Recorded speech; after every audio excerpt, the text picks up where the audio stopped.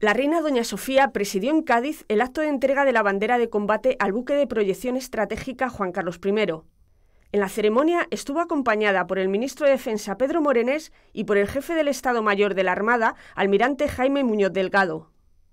Tras recibir los honores, Su Majestad la Reina pasó revista a la fuerza y pronunció unas palabras en las que ensalzó el trabajo de la dotación del buque y el apoyo de sus familias. Seguidamente procedió a la entrega de la enseña al comandante del barco. Una vez izada la bandera a bordo del Juan Carlos I, doña Sofía firmó en el libro de honor y posó con la tripulación en la tradicional foto de familia.